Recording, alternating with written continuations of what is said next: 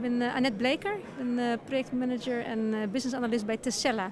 En is een data analytics bedrijf in, Nederland, in Verenigd Koninkrijk en in Amerika. En wij, wij doen data analytics in een zeg maar hele brede, in, in, een brede zin. We, um, we doen een hele grote datasets of, of ook kleinere datasets, complexe data. Uh, daar doen we analyse op, daar helpen we waarde te halen uit data. Maar we helpen ook met uh, hele praktische zaken zoals bijvoorbeeld IT, uh, dat je de data aan elkaar moet koppelen uit verschillende bronnen, dat de data schoongemaakt moet worden of dat het consistent gemaakt moet worden.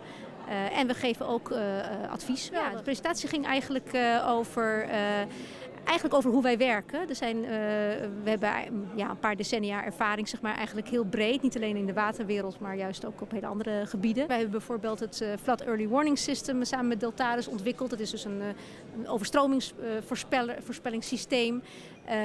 Daarbij is het wel zo dat bijvoorbeeld de modellen door de specialisten gemaakt worden. Maar dan is het vervolgens nog zo, die moeten aan elkaar geknoopt worden. Daar moet uh, continue datastroom in, dat moeten goede visualisaties zijn. Daar moeten voorspellende, hè, moeten voorspellingen uit, uh, uitrollen. Je ervaringen uit een hele andere hoek, wat misschien helemaal niks met water te maken heeft, kunt gebruiken om bijvoorbeeld in de, in de waterwereld een project te doen. Omdat data, ook al is het een heel ander domein, soms ja, als het complexe data is, bepaalde technieken die, die kunnen erg op elkaar lijken. Er zijn heel veel misschien standaard producten op de markt die zeggen, nou geef uw data maar en wij komen met de conclusies.